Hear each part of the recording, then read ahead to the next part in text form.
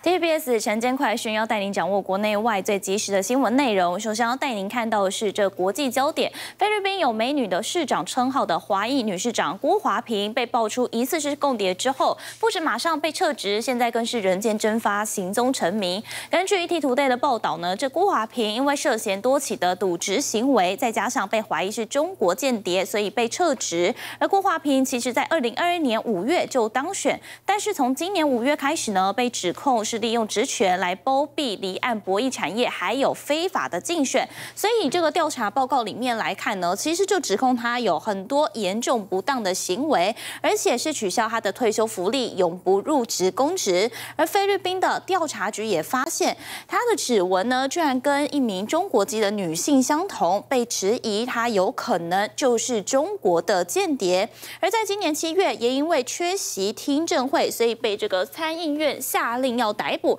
不过呢，他到现在依旧是人间蒸发，行踪依旧不明。而此外呢，其实还有十二名的市政府官员，同样也因为这个渎职被停职三个月。而菲律宾的司法部现在也要调查这个辜华平是否有涉嫌人口贩运。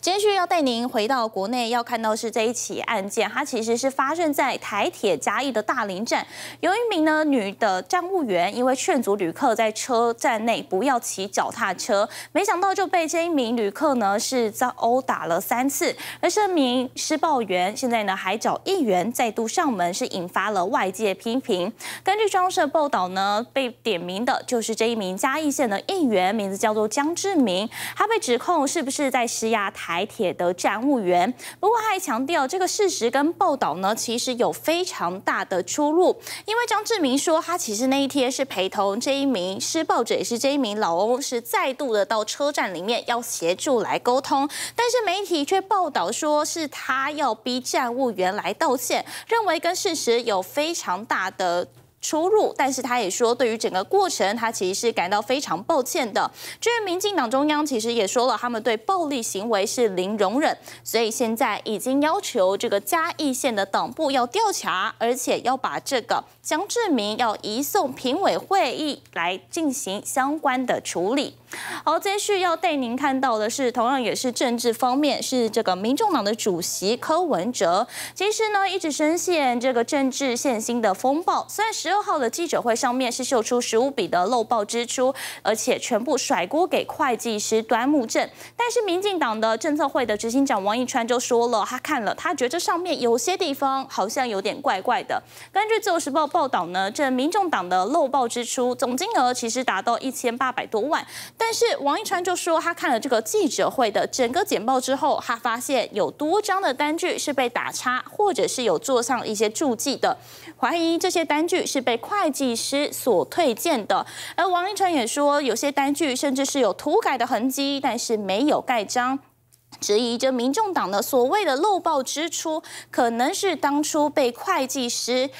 被推荐的一些单据。而接续要带您看到的是国际焦点，也就是俄乌战争，其实现在还在持续。尤其乌克兰其实是已经要反攻入侵俄罗斯的库斯克州，试图想要掌握整个战局。根据中央社报道呢，其实乌克兰的总统，也就是泽伦斯基，他就说了，现在乌克兰的军队已经掌控了这个俄罗斯库斯克州的七十四个聚落。而库斯克州的州长呢，其实也点出。乌克兰的确目前控制呢，他们的州大概有二十八个聚落，而乌克兰的外交部的发言人就强调了，其实这些入侵的行为都是合法的，而且也呼吁这俄罗斯要透过和平的手段一起来解决这些冲突，同时也说，其实乌克兰是无意要夺取领土，只希望呢可以透过这些行动来保护他们人民的生命。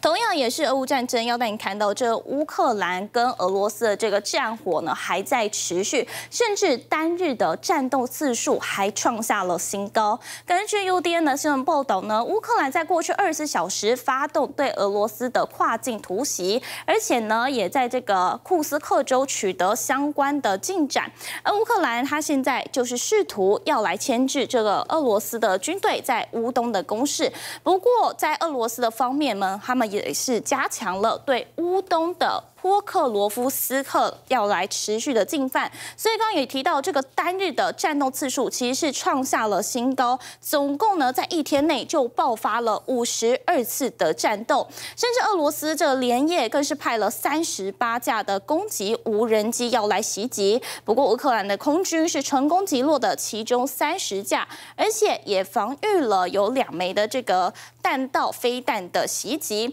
另外呢，在乌克兰的北部，其实同样也有民间基础设施遇袭，但所幸是没人伤亡。以上呢就是为你掌握到最及时的新闻内容。